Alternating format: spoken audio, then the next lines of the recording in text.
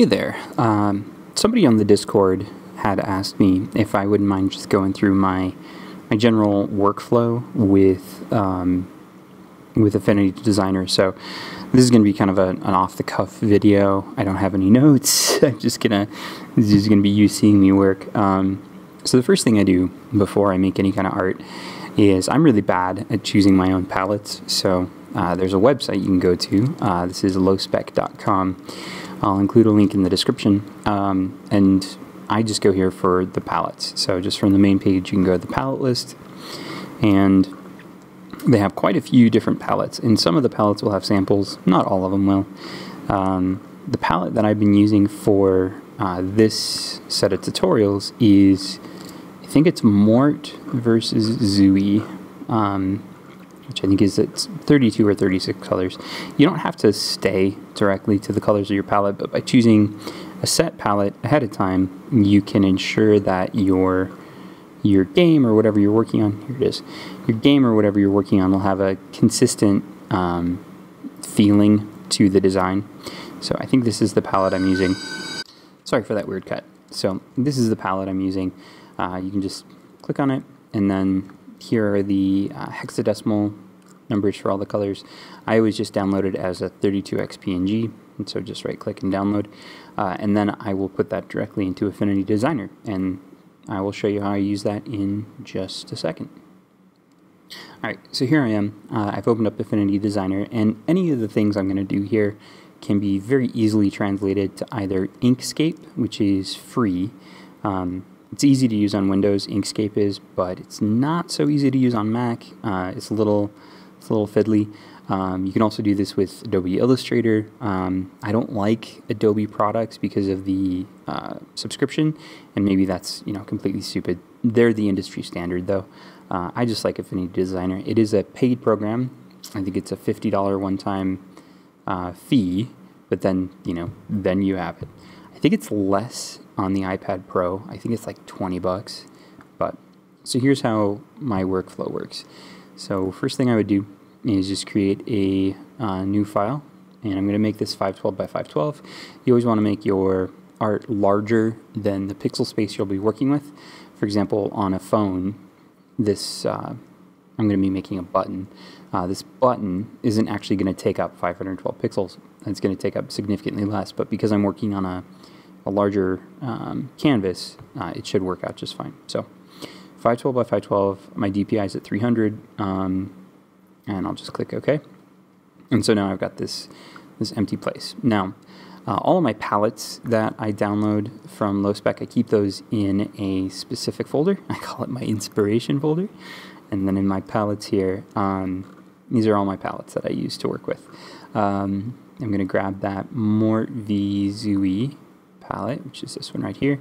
I'm going to pull it into my scene. And then the very first thing I'm going to do is just kind of zoom out and resize it so that it's kind of always there. So there we go. I got my palette in my scene here, make it nice and tall, and I'm going to have that on its own kind of layer. So I'm going to make a new layer, and I want my palette to be on top of that, so I'm just going to rearrange it over here in my layers panel to be up above. And then on this layer, um, let's see, what do we want to make? We're going to make a play button. So on this layer, I'm going to choose this rounded rectangle tool. And I'm just going to draw a rounded rectangle. Now, this probably isn't the right size. I want it 512 by 384, so I pretty closely eyeballed that there. Um, I have my snapping set pretty high, so I'm going to snap it to the center in both directions. You can change your snap settings somewhere. Maybe it's edit. Is it a file? Maybe it's preferences. It's probably preferences. Um, oh, this is also where you can find all of your shortcuts and stuff. Um, no. Performance. Okay, well, I'll find that at some point. But anyway, for now, uh, I've got my, my button here. I want this to be a play button, so I'm going to choose a relatively middle ground green tone. So let's go with that. And the way that you use the eyedropper on here is a little different than from Adobe. You grab this circle and then you pull it to what you want to do, and then that doesn't change anything yet.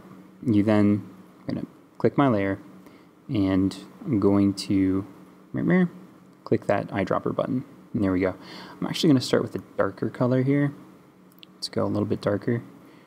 Uh, that's good. I'm going to duplicate this layer, and you do that in Affinity by Command J, Control J if you're on Windows. I'm going to make this slightly smaller. I'm going to make it, say, 12 pixels smaller in each direction. So we'll go 500 and 372. And then I'm going to recenter this. I'm also going to make it a child of the bigger one. Um, so I'm just going to pull it in there. And do, do, do. So this new rectangle here, oop. Oh, I didn't mean to duplicate the layer. I duplicated the whole layer. Gross. All right, so there we go. So we've got our layer, and in our layer we've got the main rectangle and the smaller rectangle. All right, so I'm going to make the smaller rectangle a slightly lighter color of green. Ta-da! Now I'm going to show you a few different ways that you can make uh, different types of buttons. I'm going to just adjust that a tiny bit so it looks better. Um, let's start with something that looks uh, kind of glossy. So to make a glossy looking button, what I'm going to do is, uh, as a child of this second rectangle, the one that's lighter colored, I'm going to grab an oval and I'm just going to randomly make it there. center it, bring it down a little bit. Now this is going to be like a like a kind of glowing area. So there's a few different ways you can go about this. Uh, I'm going to do this in the more structured way. I'm going to grab the color that's lighter than the one that I've been using, right there. And then I'm going to go over to Effects and Gaussian Blur. I'm going to turn that on, and then I'm going to do just a whole lot of blur. In this case, let's do 25 pixels.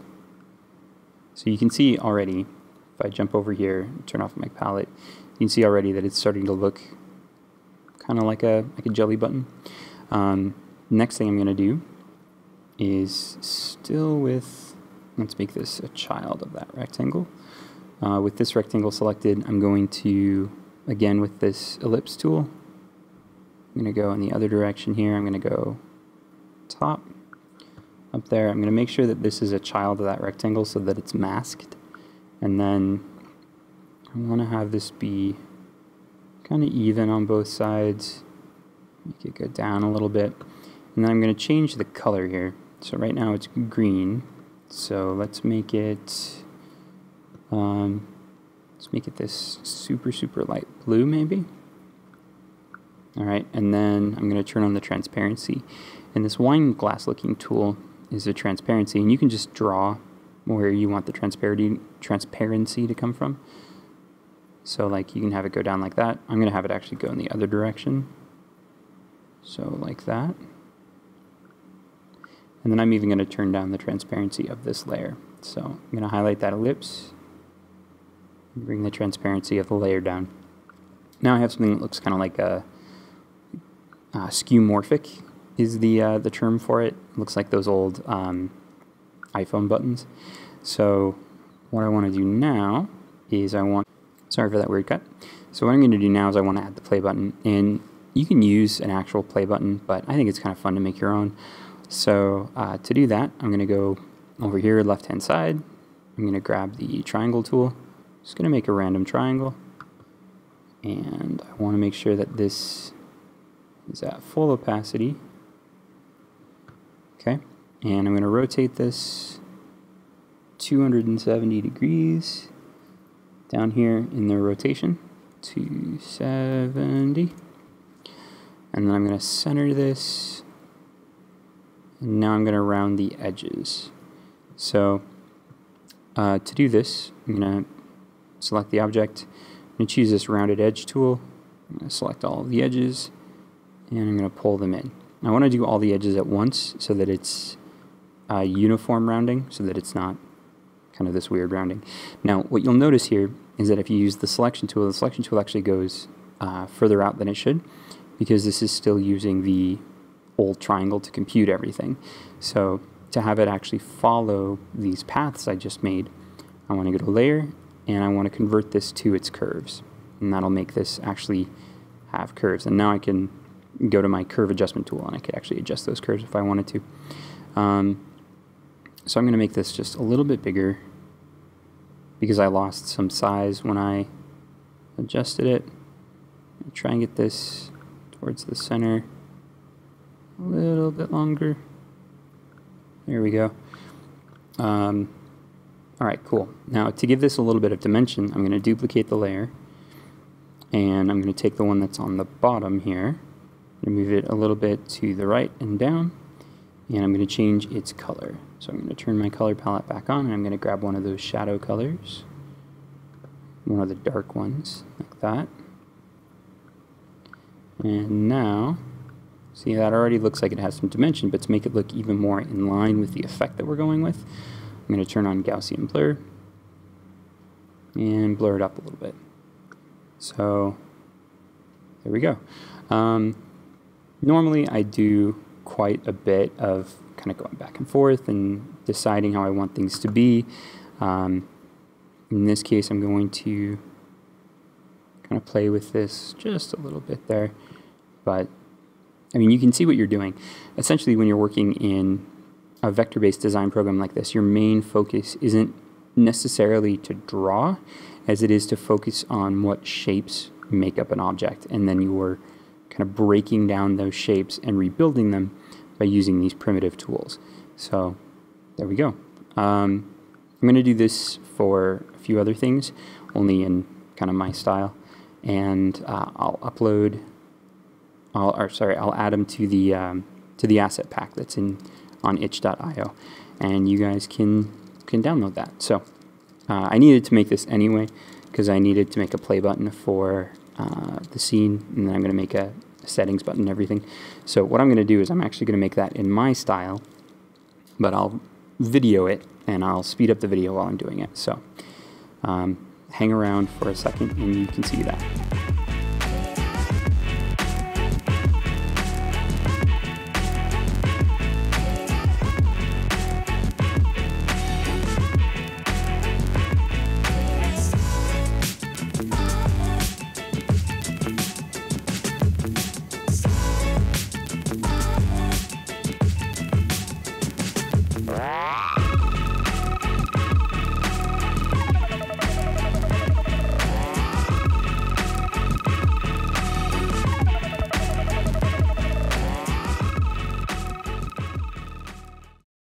Enjoyed this video, consider giving a like, subscribing to the channel, or telling a friend who might be interested. Also, please consider following me on Patreon. For as little as a dollar a month, you can earn access to tangible rewards, like early access to videos, backer-only videos and series, polls for future topics, streams, and even individual tutoring sessions. You can find a link to that in the description. And as always, have yourselves a wonderful day.